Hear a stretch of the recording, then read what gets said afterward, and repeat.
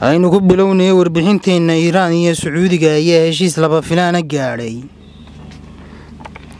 Labadaasi wadan ee ficiltanka adag ee uu ka dhexeeyo iiraan iyo sacuudiga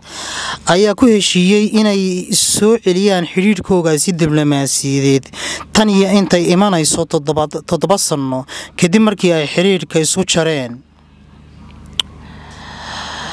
tallaabadan laba filaanka ah ayaa timid kadib markii afar maalmood oo mas'uuliyiintaasi labada dal ay wada hadal uga socday dalkaasi shiinaha. Sacuudiga ayaa iiraan xiriirka u jaray kadib markii sannadkii labada kun iyo lix iyo tobankii safaaradaasi sacuudiga ee tehraan ayaa mudaharaad ku xoomeen taas oo daba socotay kadib markii sacuudigu uu xukun dil ah ku fuliyey wadaad shiico ah aan idhaahda xiisadaasi u dhaxaysa labada dal ee shiicada iyo sunniyiinta. Kala hogaaminaya ayaa cirka isku sii shareertay. Tan iyo markaas.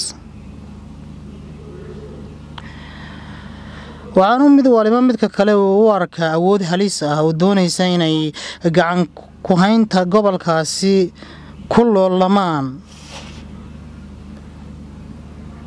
waxayna sidoo kale ku taageereen kooxahaasi iska soo horjeeda dhammaan bariga dhexe oo ay ka mid yihiin lubnaan suuriya iraaq iyo midda ugu daran oo ah yeman iiraan ayaa taageertay xuutiyiinta shiicada ah ee yeman kuwaas oo labada kun iyo afar iyo tobankii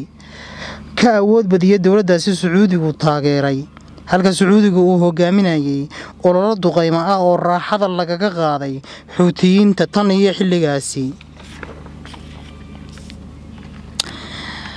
Halka sidoo kale warbixinteena aynu ku qaadan doono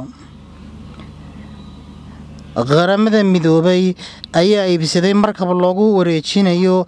in ka badan hal milyan oo foosto oo saliidda qaydhiin ah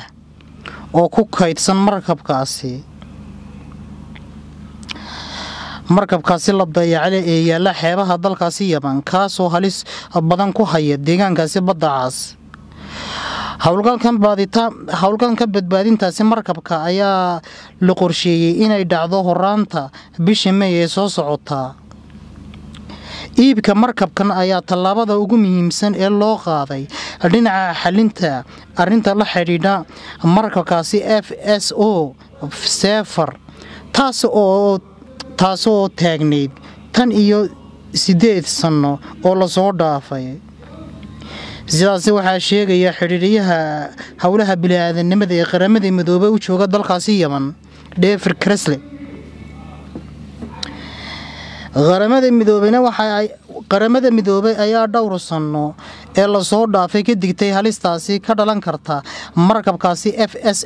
o zefer kaasi oo shaqaynayay muddo dhan toddobiyo toban sanno hasebe ahaatee xaaladiisaasi ayaa xilligan lagu tilmaamay inay tahay miino qarka u saaran inay qaraxdo taasi oo looga jeedo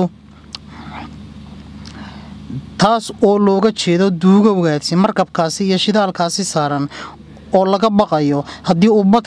uu badda markaasi uu ku daadiyo inay noqonayso masiibo deegaankaas markaasi soo food saartay.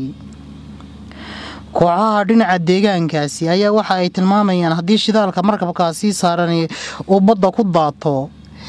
In nadiifintasaasi ay ku kici doonto lacag kor u dhaafaysa labaatan milyan oo lacagta doolarka ah iyo weliba maraakiibtaasi oo lagu leexiyo marinka swiss canal markabkan ayaa helin wax dayactir ah tan iyo iyo tobankii. Halka sidoo kalena qaramada midoobay ay tilmaantay in markabkaasi ay ka karaysatay inuu ugu kacay ilaa shan iyo konton milyan oo lacagta doolarka ah. Warbixintanna waxaa qoray maargadeed basheer isla dhinaca soo jeedintuna waa aniga oo cayduruus rooray akhriintan warbixinta warbixin la mid aynu ku kulmi doono sidaas iyo isma dhaafna waqhtigu haydii u canaado